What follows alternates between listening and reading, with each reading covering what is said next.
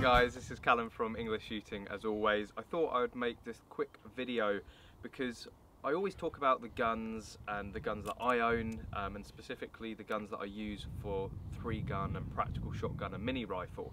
And of course for three gun you need a pistol and in the UK that's a long barrel pistol and then you need a semi-automatic rifle usually the 1522 or the 1022 um, and then you need a high capacity uh, semi-automatic or pump action shotgun. You can do it with sort of any gun you want, it's all about the fun, but those are usually the guns and I talk about them a lot. And I thought I would actually make a quick video showing you the other accessories that I use.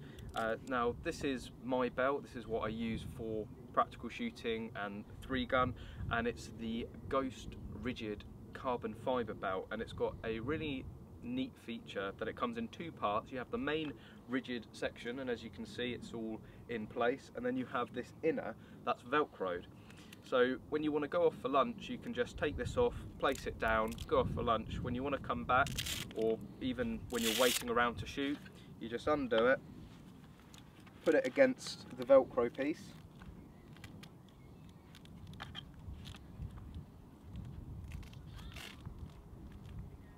do it up at the back. Make sure it's all in place. And there you go, you're ready to go. There's no looping it round or putting a belt on or taking it off. It's really quick and simple. So I absolutely love this belt. I was using it for the weekend of the Netherlands shoot and then I came back and bought one straight away. Now what I have on my belt is pretty much standard for sort of three gun and practical shooting in the UK. So I have my uh, 1911 holster. This is again a, go a, ghost holster and it fits my 1911 GSG. I then got caddies. Now there's many different flavors of caddies.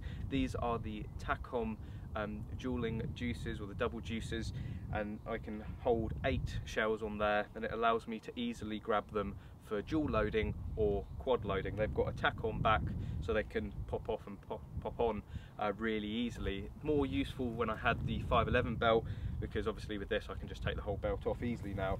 Um, on the other side I've got some uh, Ghost 1911 single stack magazine holsters obviously for the 1911 um, and then I've got these for the Smith again Ghost and you can fit other AR-15 style magazines in there, but obviously I use them for the 15-22. So that's pretty much my setup and I wanted to make this video also basically to give a massive thank you to AW Armoury. Now if you've followed the Facebook channel or even the YouTube channel for a while, you will know that I pretty much buy all my gear from AW Armoury and I'm very grateful for the fact that AW Armoury has partnered up with English Shooting um, and is now sort of supplying me with you know, little goodies here and there. So this isn't basically me shouting out promoting them because they've given me a load of free stuff.